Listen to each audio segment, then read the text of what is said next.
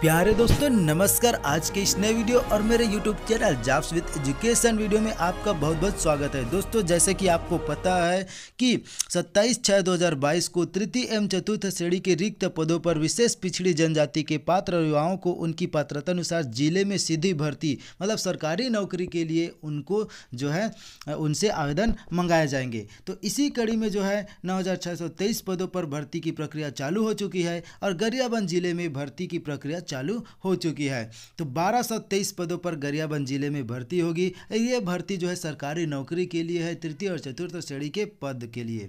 तो आपको आपकी योग्यता अनुसार आपको जो है नौकरी मिलेगी।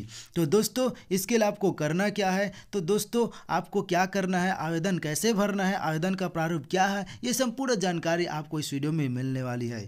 दोस्तों, इसके लिए आपको वीडियो अंत तक देखने होंगे, क्योंकि इसमें आपको मैं बता रहा हूँ कि आवेदन कैसे भरना है और कब तक भरना है, आवेदन का प्रारूप क्या रहेगी? और ज़्यादा जानकारी के लिए आपको क्या करना है? ये संपूर्ण जानकारी आपको इस वीडियो में मिलने वाली है। दोस्तों, यदि आप नए हैं तो चैनल को सब्सक्राइब करके बेल आइकन को प्रेस कर ले ताकि नए वीडियो का अपडेट आपको तुरंत मिल सके। तो दोस्तों, चलिए शुरू करते हैं आज की यह वीडियो।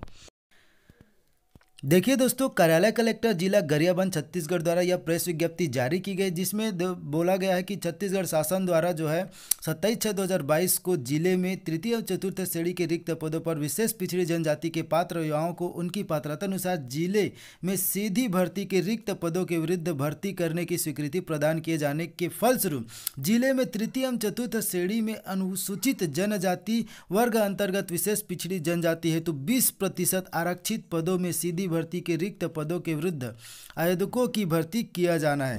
अतः इच्छुक अभ्यर्थी सहायक आयुक्त आदिवासी विकास विभाग, कक्ष क्रमांक छप्पन, संयुक्त जिला कार्यालय, गरियाबंद में दिनांक चार आठ दो हज़ार बाईस तक निर्धारित आवेदन जो प्रारूप है, उसमें जो है, आपको आवेदन करने होंगे। इसके लिए शैक्षणिक योग्यता, जाति, निवास प्रमाण पत्र जीवित रोज़गार, पंजीयन उपस्थित होकर आवेदन कर सकते हैं। तो आपको स्वयं जो है उपस्थित होकर के आवेदन करने हैं। निर्धारित आवेदन प्रारूप जिला गरियाबंद के वेबसाइट डब्ल्यू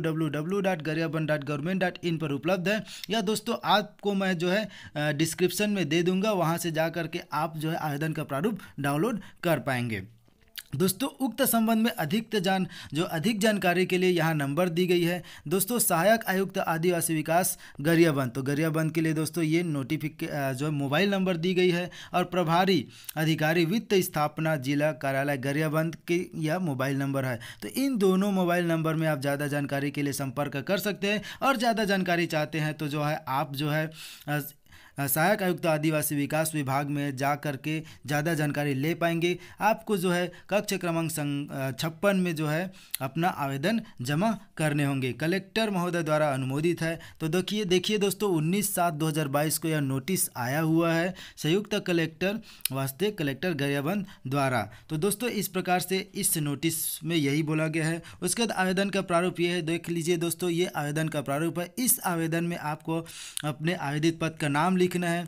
आपका आवेदित पद का नाम, आपका जो भी नाम रहेगा यहाँ आपको नाम लिखना है। आवेदक का पूरा नाम हिंदी में लिखना है और अंग्रेज़ी नीचे में, उसके बाद पिता का नाम हिंदी में और अंग्रेज़ी दोनों में लिखना है। माता का नाम आपको हिंदी में और अंग्रेज़ी में दोनों में लिखना है। अभ्यर्थी माता और महिला और पुरुष। तो यदि आप महिला है तो महिला लिखेंगे यहाँ और पुरुष है तो पुरुष लिखेंगे। उसके बाद जन्म तिथि आपको लिख लेना है। आयु दिनांक एक एक दो की स्थिति में आपको जो है कितने साल हो रहा है, ये दसवीं की अंक सूची के अनुसार यहाँ लिखना है। कितने दिन हो रहा है, कितना माह हो रहा है और कितना वर्ष उसके बाद आवेदक की श्रेणी तो कौन सा श्रेणी में आते हैं? अनुसूचित जनजाति जो है अनुसूचित जनजाति वी जो है, विशिष्ट पिछड़ा जनजाति और जो है विशेष पिछड़ा जनजाति। उसके बाद अनुसूचित जाति, अन्य पिछड़ा वर्ग का समान है। इसमें आपको जो है टिक करने हैं, टिक लगाए बोला गया जाति आपको लिख लेना है, स्थायी पता आपको अपने, जो व्यवहार का पता है उसको भर लेना है। फिर मोबाइल नंबर, निशक्तता का प्रकार। यदि आप निशक्त है तो निशक्तता का प्रकार और कितना प्रतिशत है?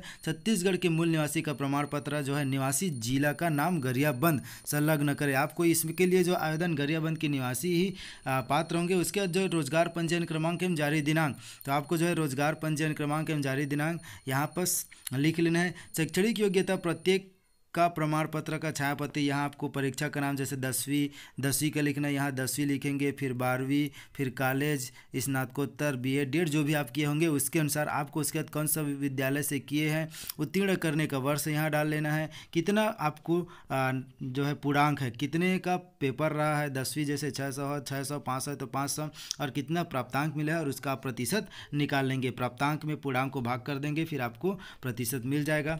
उसके बाद दोस्तों आपको नीचे क्या करना क्या उम्मीदवार विवाहित है तो विवाहित देख लेंगे। यदि विवाहित है तो विवाह की स्थिति, जीवित बच्चों की संख्या और यहाँ आपको क्या कर लेना है, उनका नाम। यदि शादीशुदा है और आपके बच्चे हैं तो यहाँ आपको बच्चों का नाम लिखना है। संलग्न सब प्रमाण पत्रों की संख्या, स्वप्रमाणित आपको क्या क्या आप जो है प्रमाण पत्र संलग्न करेंगे, उसका यहाँ नाम लिख देना है और आवेदक का यहाँ हस्ताक्षर कर लेना है और दिनांक स्थान भर देंगे घोषणा पत्र में आपका हस्ताक्षर और आपका नाम। इस प्रकार से ये आवेदन का प्रारूप है। इस प्रारूप को आपको मैं डिस्क्रिप्शन में दे दूँगा, वहाँ से जा करके आप डाउनलोड कर पाएँगे दोस्तों।